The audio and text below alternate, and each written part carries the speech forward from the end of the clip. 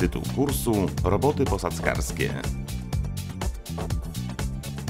Moduł Sposoby przygotowania podłoży.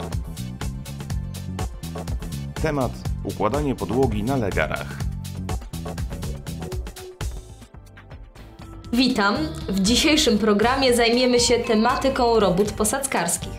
Podłogą na legarach. Temat ten zasługuje na uwagę dzięki rosnącemu zainteresowaniu społeczeństwa naukami inżynierskimi. W naszym studiu gościmy pana Adama Kowalskiego. Witam panie Adamie. Witam Panią i Państwa. Bardzo mnie cieszy, że ten temat znalazł zainteresowanie u oglądających. Pańska firma zajmuje się produkcją różnorodnych materiałów do budowy i pokrycia podłóg. Dzisiejszy temat to układanie podłogi na legarach. W jaki sposób możemy zaizolować taką podłogę pod względem paraizolacyjnym?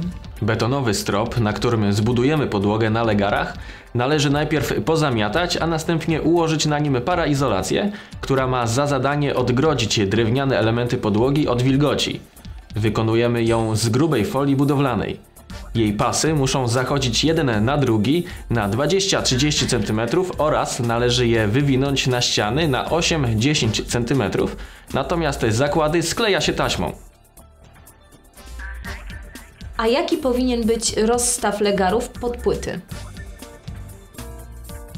Ich rozstaw e, zależy od grubości płyt. Jeśli płyty są grubości 12 mm, to ich rozstaw wynosi 40 cm. Jeśli 15 mm, to 55 cm. 18 mm to 70 cm, a jeżeli 22 mm, to 95 cm. A jak izolujemy podłogę pod względem akustycznym? To bardzo ciekawe. Podłogom na legarach zarzuca się często, że skrzypią. Zdarza się to jedynie wtedy, gdy zostaną niefachowo zamontowane.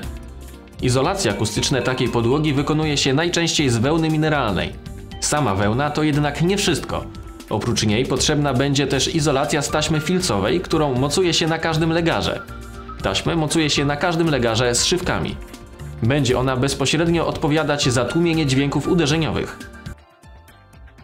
Materiał został opracowany w ramach projektu Model systemu wdrażania i upowszechniania kształcenia na odległość w uczeniu się przez całe życie, współfinansowanego przez Unię Europejską w ramach Europejskiego Funduszu Społecznego.